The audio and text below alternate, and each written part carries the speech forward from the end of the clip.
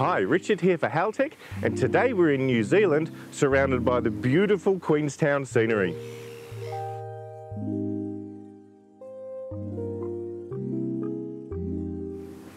Located on New Zealand's South Island, Queenstown's known for its skiing, its hiking and its general adventure lifestyle. It's a very popular holiday spot. Unfortunately, that's not why I'm here today. We're here to see our friends at HP Academy. Wow, so here we are at uh, HP Academy. Uh, Andre's here with me. He's going to be doing a guest Q&A with us in a second. But mate, before we get into that, can you tell us a bit about HP Academy and, and what you do here? Yeah, sure. So High Performance Academy, we are an online training school and we teach people how to tune high performance engine management systems. So online, you do that via the internet or do you do it face to face at all?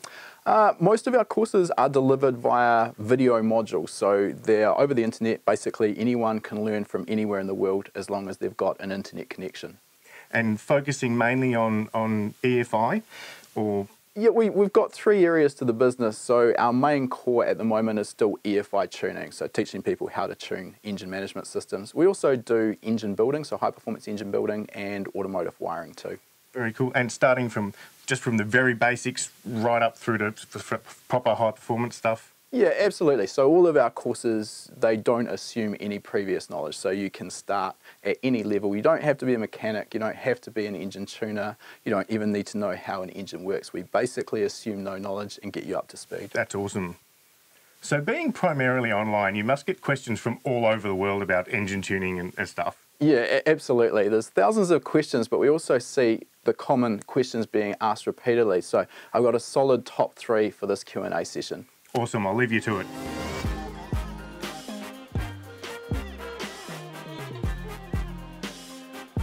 Easily the most common question we get asked is what software do I need to tune my engine or tune my car?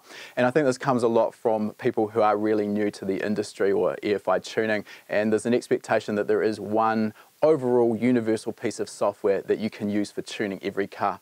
Now, clearly that's not the case. And it gets a little bit more complex because when it comes to tuning an engine management system or an engine in general, we can sort of break down our options into either reflashing, so that's a technique where we're altering the tuning information held inside the factory ECU, to do that, we use software packages from companies such as HP Tuners, EcuTek, Cobb, etc.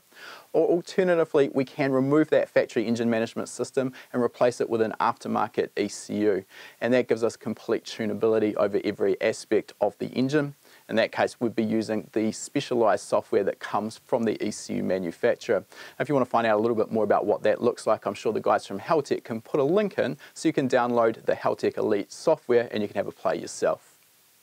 Now the second question we often get asked is what air fuel ratio should I run my car at? And this is a question that's impossible to answer. The reason for this is that there isn't one specific air fuel ratio that we can tune every engine to and get optimal results. To make things a little bit more complex as well, the correct or optimal air fuel ratio is going to depend on the way the engine's running. So for example, at idle and cruise, we might choose an air fuel ratio that's going to give us good fuel economy and minimal emissions, maybe 14.7 to 1.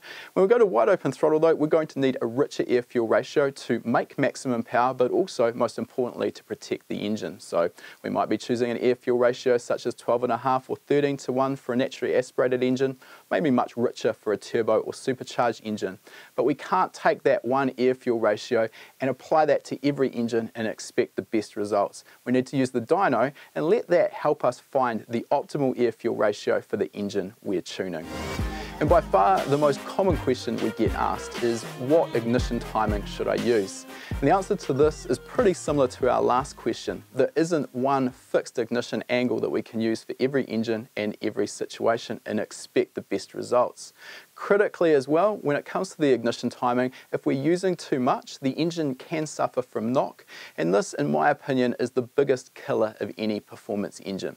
So what we need to do is use the dyno and use knock detection equipment to find what the optimal ignition timing is for our engine under each point of the RPM and the load range. Well, there's our three most asked questions. Now, if you want to learn more about EFI tuning, you can get started for free with our six-part series of lessons. They cover everything we've talked about today and you'll see how ignition and fuel are optimized on a dyno. Follow the link in the description to get started. This has been a Haltech Q&A. My name is Andre and I hope to see you in one of our classes soon.